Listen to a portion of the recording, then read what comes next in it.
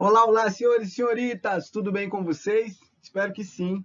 Na aula de hoje, nós vamos continuar o conteúdo classicismo com a análise de uma parte da obra de Luiz de Camões. A obra dele é muito vasta, muito significativa para a história da literatura da língua portuguesa. Há quem diga que Luiz de Camões é o maior nome, o maior ícone da literatura de língua portuguesa de todos os tempos. E durante a aula passada eu apresentei a vocês um poema desse artista do classicismo português. Lembram-se do poema? Alma minha gentil que te partiste? Então, a partir daquele poema, eh, nós construímos alguns significados e conseguimos identificar algumas características do classicismo evidentes nele. O que nós vamos fazer durante a aula de hoje é a mesma coisa, só que analisando um outro poema de Luís de Camões que se chama Apolo e as Nove Musas. Vocês se lembram daquelas características específicas do classicismo? Não se lembram? Então vou repetir. Ah, quanto ao conteúdo, idealização amorosa, paganismo e nacionalismo. Esses são os três principais elementos, eu diria, que uh, são típicos do classicismo, especificamente, ok? É, e quanto à forma, a estrutura como os textos líricos do classicismo se apresentam, o soneto e a medida nova. O soneto, como esses que vocês veem pela tela, um poema constituído de dois quartetos iniciais mais dois tercetos finais com versos decassílabos, ou seja, é, em que é feito o uso da medida nova, versos decassílabos. E o que nós vamos fazer então é uma interpretação desse soneto é, e tentaremos identificar algumas características do classicismo especificamente a partir dele, ok? Podemos fazer a leitura? Muita atenção, hein? Apolo e as Nove Musas. Apolo e as Nove Musas, descantando com a dourada lira, me influíam na suave harmonia que faziam, quando tomei a pena começando. Ditoso seja o dia e hora quando tão delicados olhos me feriam. De todos os sentidos que sentiam estar-se em seu desejo traspassando. Assim cantava, quando o amor virou a roda à esperança, que corria tão ligeira que quase era invisível. Converteu-se-me em noite o claro dia, e, se alguma esperança me ficou, será de maior mal, se for possível. Pessoal, então, quanto à estrutura, observações feitas. É um soneto, e se vocês uh, tiverem a curiosidade de checar os padrões métricos ou o padrão métrico desses versos, perceberão que esses versos são versos decassílabos, ok? Então, já podemos identificar dois elementos do classicismo pela estrutura ou pela forma desse texto lírico, desse poema. O fato de ele ser um soneto em que se faz uso da medida nova, tudo bem? Quanto ao conteúdo, uma análise desses versos. Percebam que o lírico é, fala inicialmente, na primeira estrofe, a respeito de Apolo e as nove musas, que, descantando, ou seja, cantando, não é? ou compondo uma cantiga com uma lira dourada, lira é um instrumento de corda, semelhante a uma harpa, não é? No caso, uma lira dourada era utilizada como instrumento musical para que essas divindades é, cantassem ou compusessem a sua cantiga, né? Então o que o lírico diz é que essas divindades, que são divindades, muita atenção, hein, da cultura pagã greco-romana, o influenciaram a escrever algo, a compor uma obra de arte. Tudo bem? Apolo é quem, Gustavo? Entre outras atribu atribuições dadas a ele, é, ele é considerado o deus das artes, ou o Deus inspirador da criação artística, não é? E essas musas, igualmente, é, são musas inspiradoras da criação artística e são inspiradoras também da elaboração da ciência, do conhecimento científico. Então, tanto Apolo quanto as nove musas é, são entidades espirituais, são divindades greco-romanas, da religião politeísta greco-romana, que o Eulírico menciona como divindades que o influenciaram a escrever algo, a escrever uh, alguns versinhos de amor, que é o que ele apresenta na segunda estrofe.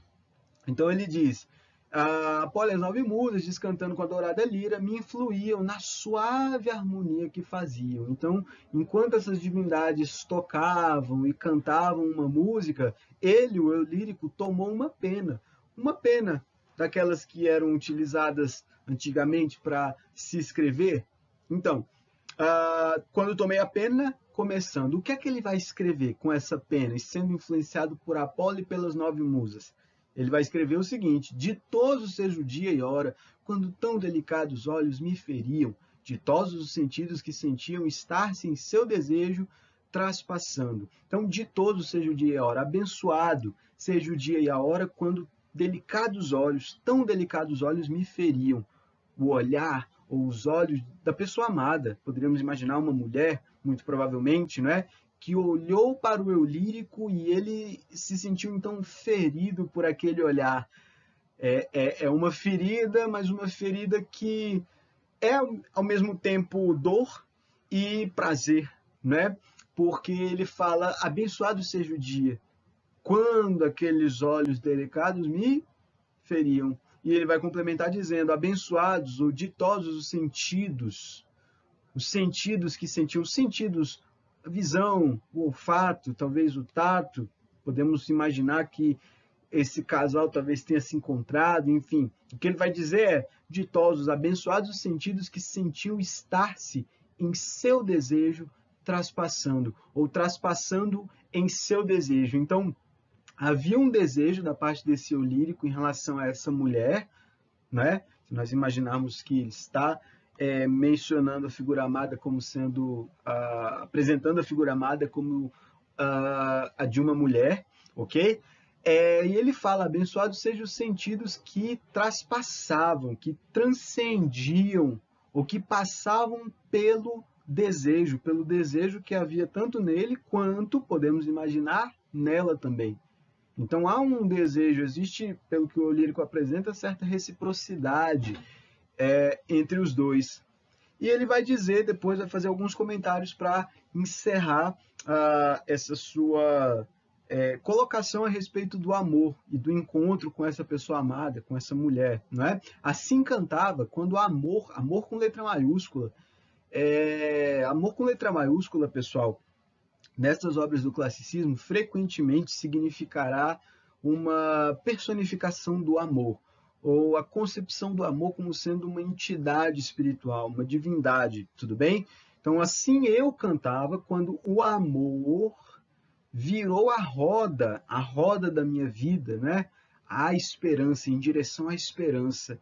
Então, o que era desejo se transformou em esperança, que corria tão ligeira que era que quase era invisível, que era quase invisível a esperança, né? Então, a princípio, o que esse lírico diz aparentemente é que havia um desejo e havia os sentidos, né? Entre uh, essas duas pessoas que compunham o casal, do qual ele fala, tudo bem?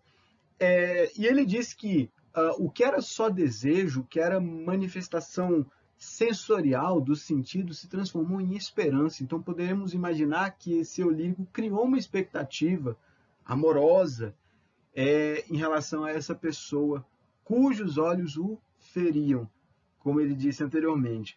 E ao final ele vai destacar: converteu-se-me em noite o claro dia. O claro dia conver se converteu para mim em noite, se transformou em noite. O que era claro ficou escuro. A minha certeza se transformou em dúvida. É mais ou menos isso que ele apresenta. E se alguma esperança, alguma, ok? É, esse, esse, esse, vocábulo alguma com o sinal de tremos, dois pontinhos ali acima da letra U, indicam uma espécie de contração da palavra alguma para alguma, tudo bem? E se alguma esperança me ficou, será de maior mal se for possível. Então, o que esse lírico confessa é que o que era desejo se transformou em esperança. E que quando essa expectativa da realização do amor é, tomou o coração desse lírico, ele percebeu, puxa, tudo à minha volta está muito confuso. Que é o que o amor, de certa forma, causa a certas pessoas, né? Quando se deparam com esse sentimento dentro de si, a confusão. O que era claro ficou escuro, é o que ele diz, né? O claro dia se converteu para mim em noite escura. E agora, eu imerso nessa confusão, nesse conflito emocional por conta do amor em que eu me encontro, é, percebo que pode vir ainda algum mal pior disso. Ou seja, depois do desejo, depois da esperança, pode vir o amor, de fato, né? É um mal meio agradável, é uma mistura, né? É, de, de percepções distintas que esse eu lírico confessa sentir dentro de si por conta do amor. Então, é algo complexo é, que ele apresenta neste poema por meio uh, dessa estrutura e de alguns recursos típicos do classicismo. Entre eles, o paganismo, tudo bem? Percebam que ele fala de Apolo e das nove musas, que são as divindades que o inspiram a escrever algo. É possível perceber também outro elemento do classicismo, que eu diria é o elemento central desse poema, que é a idealização amorosa.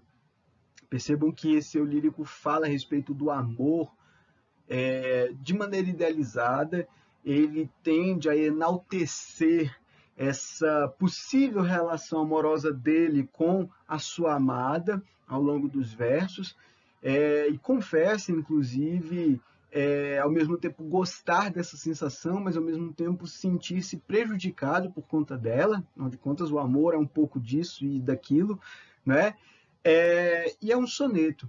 Então, esses são os elementos perceptíveis pela leitura atenta, pela análise atenta desse, desse poema, desse soneto, né? como eu falei, de Luiz de Camões, Apolo e as Nove Musas, ok? Tarefa de casa de vocês será qual?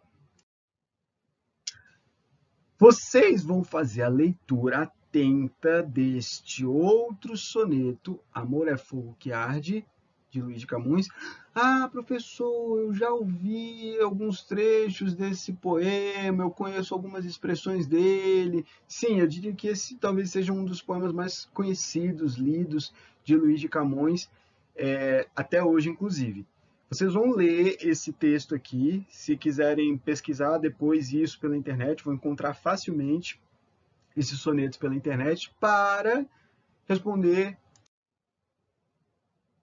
a esta questão que eu proponho como tarefa de casa para os senhores e para as senhoritas. Vocês vão escrever um parágrafo dissertativo a respeito do conteúdo e da estrutura do poema Amor é Fogo que Arde, de Luiz de Camões, levando em conta o fato de ser um poema do classicismo português. Então, lembrem-se de colocar no parágrafo de vocês que elementos do classicismo fazem parte do conteúdo e da estrutura daquele poema. Tudo bem? Então, uma dissertação, vocês vão descrever uh, qual é a temática, o conteúdo de que o poema trata, tudo bem? E vão mencionar também as estruturas, as formas pelas quais ele foi construído, tentando associar tanto conteúdo quanto forma é, ao classicismo. Tudo bem? Muito obrigado pela atenção de vocês que me acompanharam até aqui e até a próxima aula. Nós vamos checar as respostas de vocês a essa questão aí. Tudo bem? Beijos e boa tarde, boa noite, bom dia. Não sei qual é o horário que vocês estão assistindo essa aula, mas um bom dia como um todo para todos vocês. E até a próxima. Tchau, tchau.